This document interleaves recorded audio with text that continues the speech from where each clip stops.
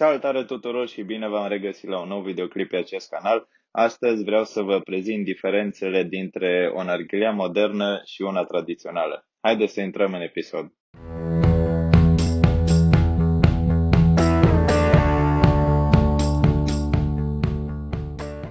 Venit momentul să comparăm aceste două narghilele și anume cea din partea stângă narghileaua modernă, iar cea din partea dreaptă narghileaua tradițională. Prima diferență este una cât se poate de vizibilă și anume aspectul. Narghileaua tradițională este una bogat ornamentată, acestea sunt uh, făcute manual, Vasul de sticlă este unul mai îngust, pe când narghileaua modernă vine într-o multitudine de modele și dimensiuni datorită tehnologiei, acestea fabricându-se în uh, diferite fabrici. Majoritatea narghilelelor moderne sunt fabricate din uh, oțel inoxidabil sau aluminiu, iar acest lucru le face să fie destul de rezistente în timp, iar spălarea lor este una cât se poate de ușoară. Narghileaua tradițională este fabricată din alamă sau cupru, iar acest uh, lucru face ca narghileaua să aibă o durată de viață mai scăzută.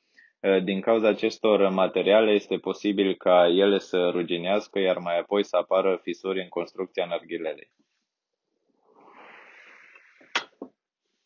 Acum uh, vreau să vă spun despre tipul de tragere. La narghileaua modernă, în majoritatea cazurilor, downstem-ul uh, este conceput cu un diffuser care poate să fie fix sau reglabil pentru a vă putea selecta tipul de tragere dorit, pe când la narghileaua tradițională tragerea este una mai restrictivă, neavând diffuser, ceea ce îi oferă și acest uh, sunet specific în momentul când tragem din narghilea. Cum se fumează dintr-o narghilea modernă?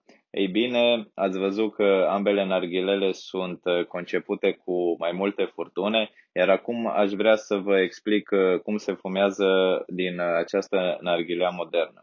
Ei bine, porturile de furtună, toate cele patru, sunt concepute cu niște bile care sunt introduse în uh, portul de furtun, iar acest lucru ne permite ca tuturor participanților care fumează la această narghilea să tragă simultan fără niciun fel de problemă sau în momentul în care eu vreau să trag din narghilea, celelalte bile coboară și astupă celelalte furtune ca eu să pot uh, trage din arghilea fără niciun fel de problemă.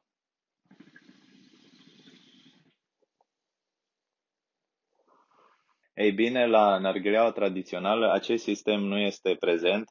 Aici vom avea nevoie de ajutorul celorlalți participanți la sesiune și anume ă, aceștia vor trebui să acopere gura muștiucului pentru ca eu să pot trage din ă, narghilea și anume să nu trag aerul din furtunele acestora. Haideți să vă arăt și aceste două moduri și anume să trag din arghilea când furtunele sunt lăsate normal, iar după aceea când găurile muștiucurilor sunt ă, acoperite.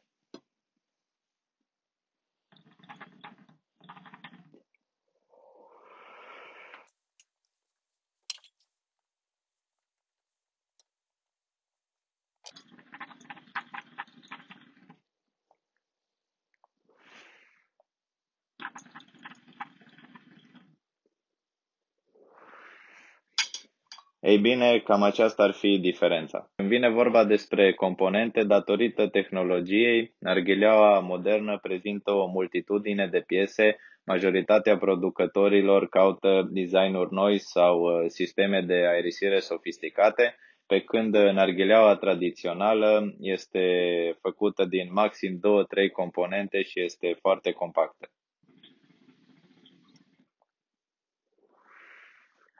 O altă caracteristică interesantă la narghileaua tradițională este că, datorită materialelor, este recomandat să folosiți doar un singur fel de aromă pe, pe această narghilea, deoarece acest material va reține aroma și fumând sesiune cu sesiune, gustul va fi tot mai intens și tot mai plăcut pe când uh, la narghileaua modernă acest uh, lucru nu se întâmplă, deoarece la spălare mirosul va fi eliminat din uh, componente. Acum că cunoașteți diferențele dintre o narghilea modernă și una tradițională, vă va fi mult mai ușor să vă alegeți o narghilea după stilul vostru de fumat.